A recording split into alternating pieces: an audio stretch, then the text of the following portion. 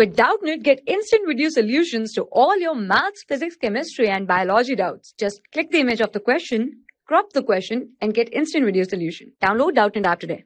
If the potential difference applied to tube is doubled and the separation between the filament and the target is also doubled, the cutoff wavelength option 1 will remain unchanged, option 2 will be doubled, option 3 will be halved and option 4 will become 4 times the original.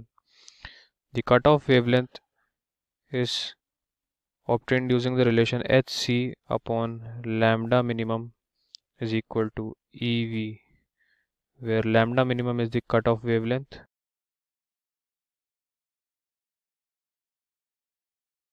and V is the potential difference applied.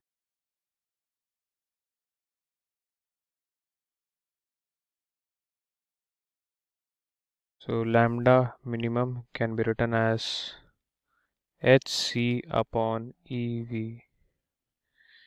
We can see that hc upon e is a constant term. This implies we can say that lambda minimum is inversely proportional to the potential difference applied. So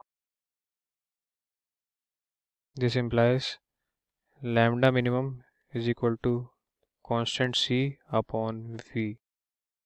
So if v becomes 2v as given in the question, then lambda becomes lambda minimum by 2. This implies if potential difference is doubled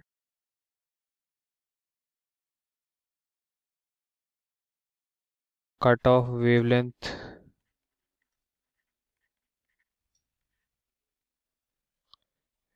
is halved. Therefore, the correct option is option 3. It is important to note that the separation between the filament and the target has no influence over the cutoff wavelength.